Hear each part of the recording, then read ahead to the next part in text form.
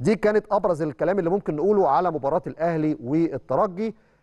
كمان نقطة أخيرة مهم جدا نحافظ على الرصيد البشري بخصوص الإنذارات لأن امبارح حمدي فتحي خد الإنذار الثاني قال الجهاز الفني هيفضل إراحة حمدي فتحي في لقاء العودة عشان الإنذار الثالث ما يكونش سبب في إبعاده عن لقاء الذهاب في النهائي إن شاء الله في حالة تأهل. ده هنشوفه خلال الفترة الجاية. ولكن في لاعيبه ثانية مهم جدا تحافظ على رصيد الإنذارات عشان إحنا خلاص داخلين في مرحلة لا تقبل القسمه على اثنين أي غياب لا قدر الله مش هنبقى يعني محتاجين حاجة زي كده لأن إحنا داخلين على مواجهات صعبة في توقيتات صعبة وفي مدد زمنية قليلة. الحمد لله عندنا الرصيد البشري على دكة البدلاء في أكتر من لاعب من الدفاع حراسة المرمى لغاية رأس الحرب. ولكن مهم جدا فكرة إن كل اللعيبة تكون موجودة معاك في المراحل الختامية. بصوا على رصيد الأهداف.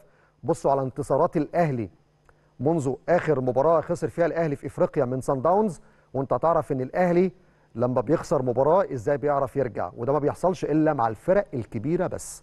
فما تسمعوش أي تعليقات سلبية ما تركزوش مع تحليل فني مبني على الترند مش مبني على الواقع والأرقام والتحليل المحترم.